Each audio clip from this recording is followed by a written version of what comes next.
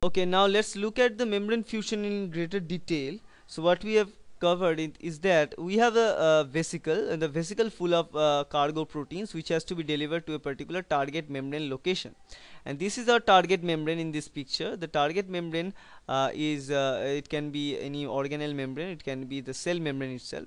So in this case let's consider it as a cell membrane and you have the vesicle with uh, some proteins in it.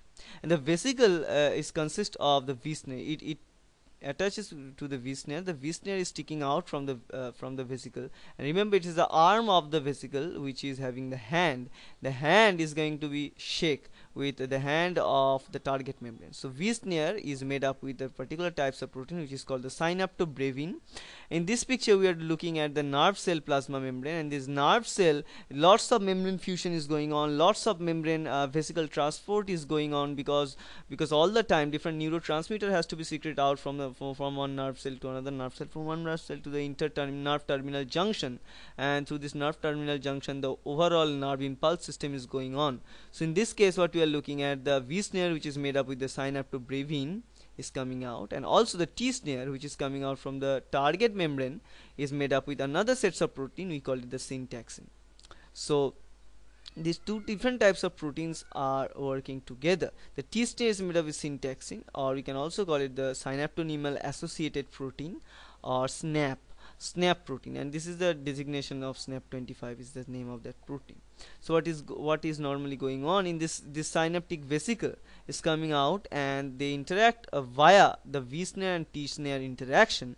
They attach with each other they just coil itself themselves up and finally that that actually pulling that is actually pulling this vesicle towards this uh, nerve uh, target cell membrane. And this, the, as as uh, as they are pulling it tighter this vesicle is coming very closer and closer. And finally when they come in really close proximity in this uh, lower picture you can see uh, and they, when they come in really lower proximity. So in this case there are lots of water inside uh, this environment. And whenever the V-snare and T-snare interacting so hard so water are dissociated. So there are less uh, area for water to interact between the the vesicle and the target membrane. So there are less water they come in close proximity and as a result water molecule is getting cleaved and water is released released and finally these membranes are making an area which is uh, very very much similar like the area which we can find in the cell membrane or inside a cell membrane that is the hydrophobic hydrophobic region.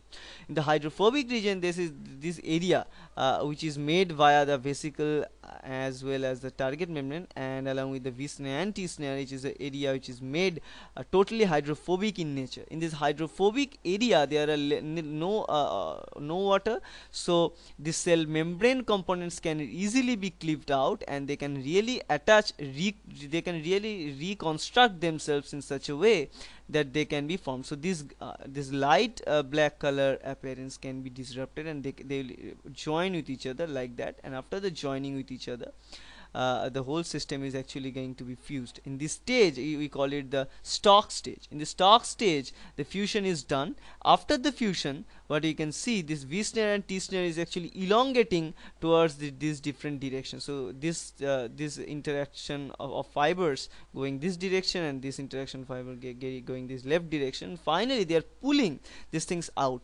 And after some time uh, of pulling out what we are going to we are going through the hemifusion stage. In this hemifusion stage after the tight pulling would, would we end up with something like that? And now there is less work to be done because the inner membrane remains here but we, we still need to fuse this membrane to make uh, to uh, attach these two compartments together because now uh, via the thin membrane we have separated the vesicle area and the and the cellular extracellular area.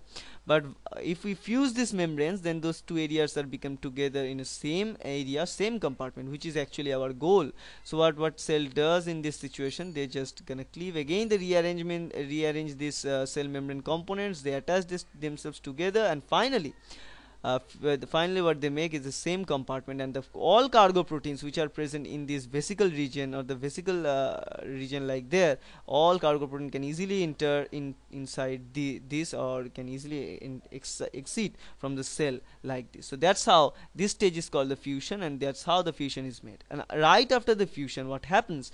The effect of ATP as well as the different protein complexes and components uh, is going to separate the V snare from T snare and the V snare along with uh, a stretch of cell membrane components can be pinched off again and they can be sent back to, to the cytosol to make another round of this uh, vesicle transport to have to be happen again. So that's how the actual membrane fusion is done